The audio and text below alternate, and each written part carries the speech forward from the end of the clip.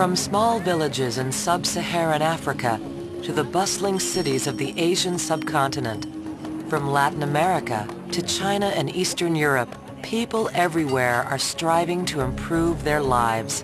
People seeking the same things, opportunity to learn, an identity and ownership that allows them to prosper, a chance to earn a living for themselves and their families, to use their imaginations, to take risks and possibly fail, but to increase their options and to reap the rewards if they succeed.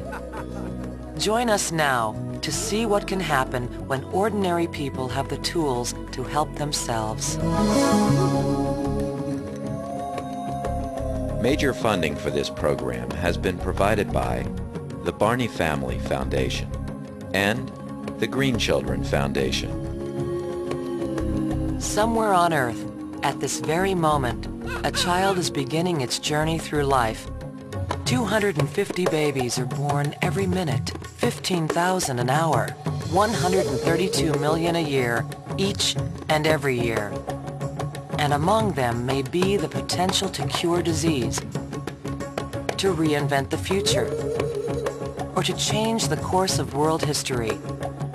Because people are the world's ultimate resource.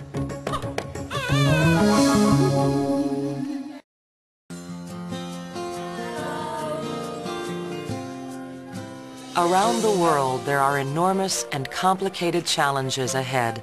But extraordinary change can happen when ordinary people have the tools and the freedom to make their own decisions. In a poor village in sub-Saharan Africa, a child's mind is opening and her world will never be the same. The children of the world are the future of the world. That's why they're so precious to us. That's why they need the best. High in the Peruvian Andes, a simple but legal ceremony marks a new beginning in the lives of these poor farmers. With it comes pride of ownership and the promise of new opportunity. Two-thirds of the world's population, 4 billion people, are locked out of the capitalist system. It's important to let them in. In thousands of villages throughout Bangladesh, one man's bold idea has unlocked the power of the poor.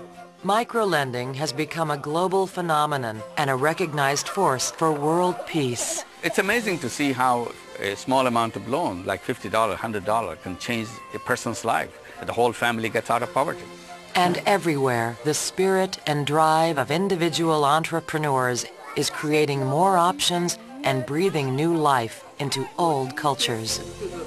My hope is that people's fate and their future should not be decided from where they happen to be born, but by their own abilities, their own will, their own interests, their dreams and their visions.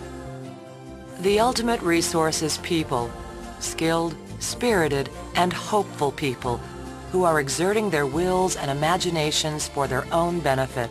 And inevitably, they will benefit not only themselves, but the rest of the world as well.